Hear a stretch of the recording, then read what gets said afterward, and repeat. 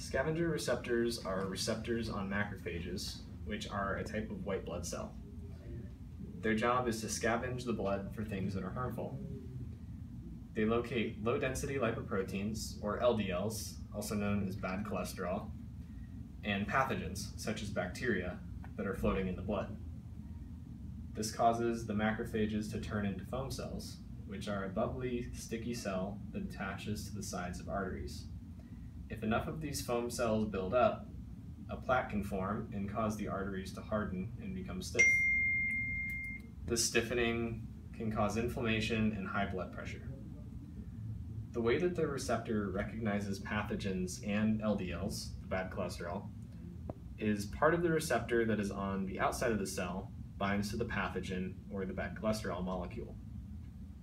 This triggers the macrophage to bring the receptor and the pathogen into the macrophage, creating a little pocket called a phagosome. These little pockets filled with acid, called lysosomes, combine with the phagosome, forming one big pocket called a phagolysosome, which contains acid, the pathogen, and the receptor. The acid dissolves the receptor and the pathogen, and the macrophage is free to move on and find more LDLs or bacteria.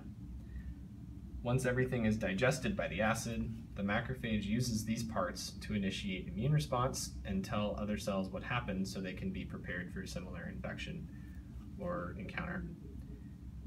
Another function of the scavenger receptors is to work with toll-like receptors. This is a different type of cellular surface receptor.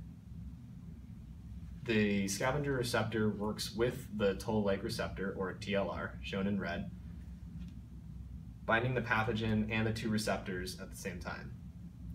The TLR can then send signals to other cells or to the inside of the cell to make uh, molecules that would work against the specific pathogen that it bound to.